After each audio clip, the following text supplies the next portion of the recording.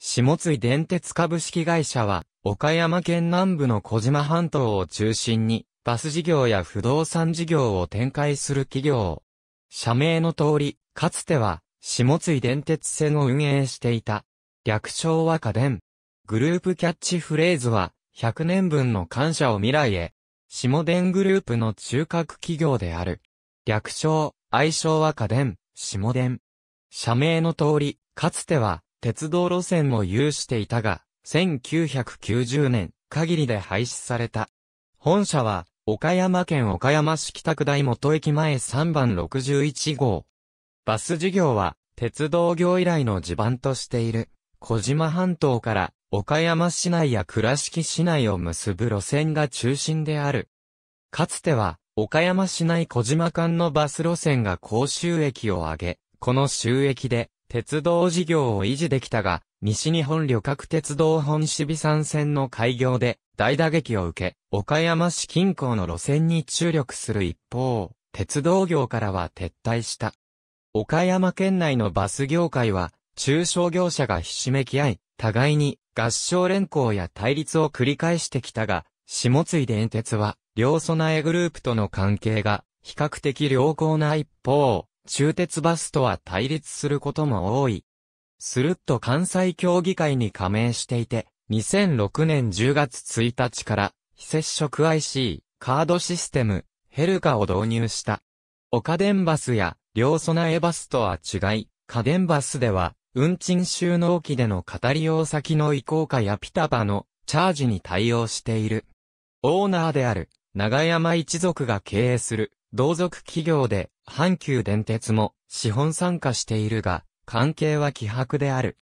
阪急阪神東方グループとは、岡山梅田間の高速バス路線の発見委託や、阪急三番街高速バスターミナルへ乗り入れていたが、キビエクスプレス、大阪号に参入したことにより発見委託は廃止、梅田の乗り場も大阪駅 JR、高速バスターミナルに変更となった。鉄道事業は、総指示からの中核事業であったが、1991年に全線を廃止し、撤退した。一般路線バス高速バス貸切バス、瀬戸大橋特急線専用車両、内は共同運行会社。全路線で、ヘルカ、全国相互利用サービス対応の IC カード利用、可能。京女線岡山電気軌道との共通区間において、定期券の共通利用が可能。地域間感染系統として、国、岡山県の補助を受ける。岡山、中小線中小線倉敷市単独補助路線である。茶屋町、倉敷線古城地線天城線塩那須線王子が、竹線倉敷市単独補助路線である。なお、2020年9月末でゆか山駅の、ゆか山線は廃止された登山口白尾、平野切り抜き、ゆか山。小島循環バス、ふれあい号下津井循環線、とこは、伊号とこは、伊号倉敷市単独補助路線である。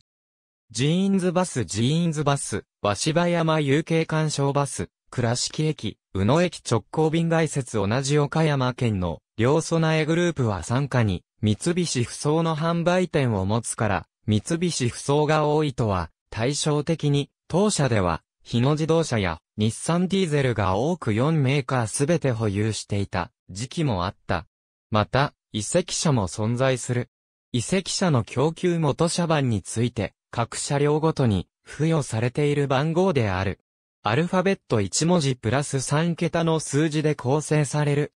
高速バス路線バス、地域間感染系統として、国、岡山県、香川県の補助を受けていた。